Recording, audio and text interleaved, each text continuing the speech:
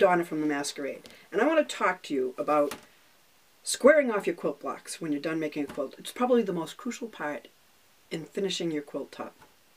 Many of us like to skip this step, and I understand.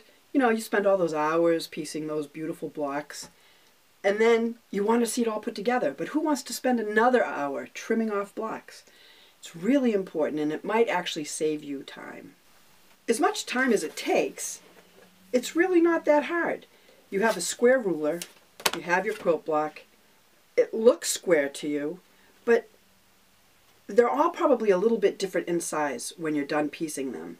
And so what you do is you look at all your blocks, you throw them under your square ruler, you see which one's the absolute smallest block, and you make it as square as you can to the edges of this block. And in this case, my block is about seven and a half inches, but my smallest block was seven and a quarter. So I'm going to square this one to seven and a quarter inches.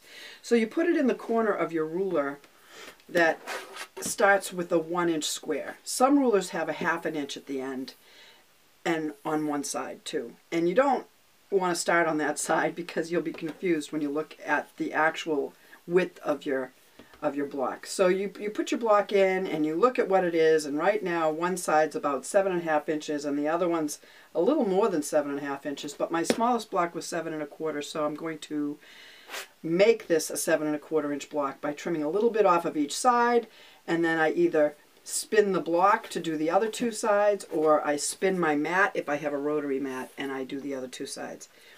Sometimes you're taking a sliver of a, a bit of fabric off but when you're finally done, they'll all be exactly the same size and they're going to go together perfectly without any questions, without having to worry about match se matching seams. They'll automatically match up and it makes putting your quilt top together so much easier. If you don't square them off, you find yourself stretching a little here, pulling a little there, trying to make them fit together so that the seams between the blocks match up. And what you end up with is something a little bit wonky. It might be puffy, it might be twisted, it's not going to hang straight. When you go to quilt it, you might have pieces that have puffed out and then they end up folding over. It becomes a mess. And so you might end up taking some of these blocks apart and rebuilding them to make them fit the other blocks. That's time consuming. So it's actually worth the effort to go in and square your blocks off. So that's my tip for the day. Remember to square off your blocks.